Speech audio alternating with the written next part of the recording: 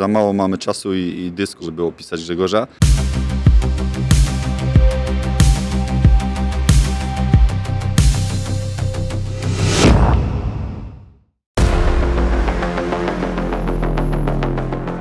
Dzisiaj rozmawiamy o legendach piłkarskich. Kogo zapamiętałeś tak z dzieciństwa i chciałeś być jak on? Roberto Baggio.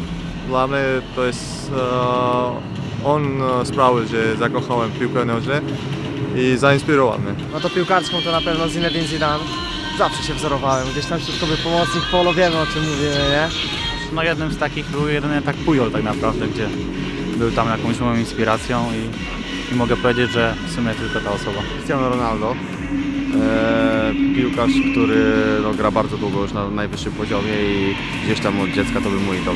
Włodzimierz Lubański. No to był zawodnik, który na owe czasy był takim, e, który nie wiem, miał już horyzonty zachodnie i grał jak e, piłkarz zachodni. Bardzo duży ciąg na bramkę, świetny strzał. Robert Demian. On y, zawsze był tym człowiekiem, na którego się chodziło na spotkania. Przy okazji był królem strzelców, robił y, w Bielsku rzeczy, które są bardzo ciekawe i warte opowiadania po dziś dzień. Zbigniew Boniek dużo dał polskiej piłce, jako pierwszy, jeden z pierwszych zawodników Polski grał w zagranicznym klubie w takich czasach jakie były. David Beckham. Moim zdaniem miał tak, najlepsze chyba rzuty wolne, jakie mogły być.